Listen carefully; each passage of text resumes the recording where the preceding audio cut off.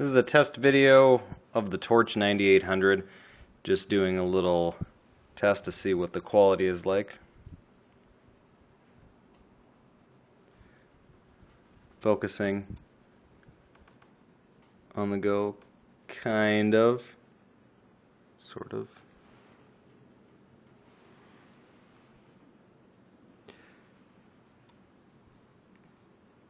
There's no way to scroll in and out when you're taking video, but you can you can see